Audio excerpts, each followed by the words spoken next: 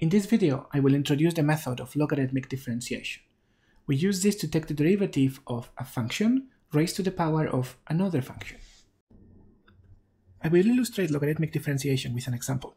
I consider this function f, defined by f of x equals cosine x raised to the power of sine x, and I want to take its derivative. The first thing to notice is that this function is not merely a power or an exponential. What do I mean by that? A power could be a function that depends on x only on the base, and the exponent is a number. For example, x cubed. And I know how to take its derivative. That's what the power rule tells me. I could also have a power composed with a different function. For example, cosine cube of x, which is simply cosine of x to the cube. And I know how to take the derivative of this function as well. I just combine the power rule with the chain rule. On the other hand, an exponential could be a function that depends on x in the exponent but the base is a constant, is a number. For example, 2 to the x. And again, I have a formula to take derivatives of functions like this. I know the derivative of 2 to the x is 2 to the x times ln 2. And again, I could have a function like this composed with something else. For example, 2 raised to the sine of x. And to take its derivative, I would use this rule together with chain rule.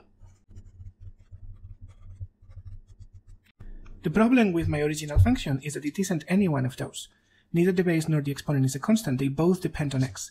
So none of these rules by itself tells me what to do. I'm going to present two methods to take care of this, which are actually the same method in disguise. The first method consists of using this identity that allows me to rewrite any power exponential as an exponential with base e. Why is this useful? Because I know how to take the derivative of an exponential with base e. In our case, this function can be rewritten as e to the sine x times logarithm of cos x. And once I have it this way, yes, I know how to take the derivative. This is an exponential of a function. So the derivative will be itself times the derivative of the exponent.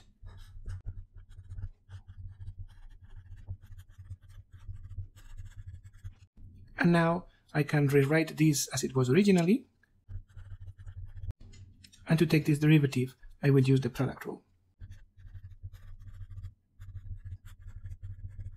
And that's it.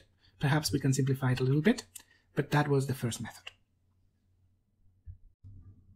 The second method is the one we call logarithmic differentiation.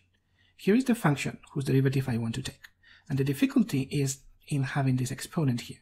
So before I do anything, I'm going to begin by taking logarithms of both sides. This is a good idea because logarithms simplify many operations. They turn products into sums, quotients into differences, and powers into products. So using the properties of logarithms, I can rewrite this as logarithm of f equals sine x times logarithm of cos x. And look, the exponent has disappeared entirely. Now that the exponent is gone, I can take derivatives of both sides much more easily. On the left-hand side, I no longer have just f, I have ln f, but I can take the derivative using implicit differentiation. And on the right hand side, I have to take the derivative of this product, so just use product rule. If this feels familiar, it's not an accident. It's exactly the same derivative I computed in method 1.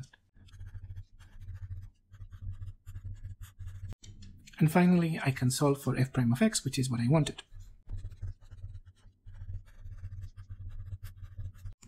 And that's it. The answer is the same as in method 1.